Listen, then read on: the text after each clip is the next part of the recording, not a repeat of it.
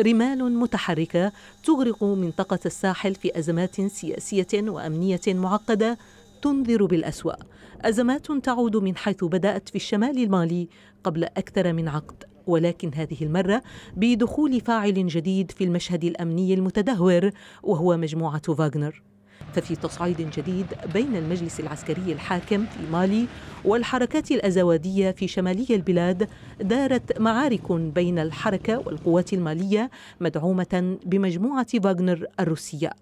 وقالت الحركة إن قواتها تمكنت من صد الهجوم في بلدة بير الواقعة في منطقة تمبكتو بينما أعلن الجيش المالي أنه رد بقوة على محاولة لاختراق مواقعه من قبل قوات الأزواد متهما عناصر متطرفة في الحادث. تنسيقية الأزواد وفي بيان نددت بالهجوم واعتبرته انتهاكا لجميع الالتزامات والترتيبات الأمنية. وكثيرا ما اشتكت أزود من دخول الجيش المالي لمناطقها دون تنسيق معها. التوتر بين الجانبين يأتي على خلفية مغادرة كافة ممثلي ازود باماكو لأسباب قالت إنها أمنية. خطوة من شأنها أن تعمق الهوه مع المجلس العسكري الحاكم.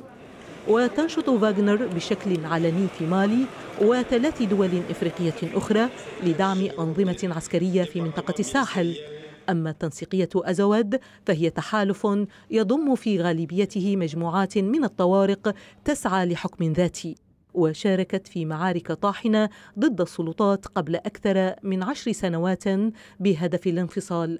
وانتهت المواجهة بتوقيع اتفاق السلام في الجزائر عام 2015 ولكن الاتفاق بات مهددا بعد اتهام الحركة للمجلس العسكري بالتملص من تطبيق الاتفاق الذي يخول الموقعين عليه المشاركة في الحكم.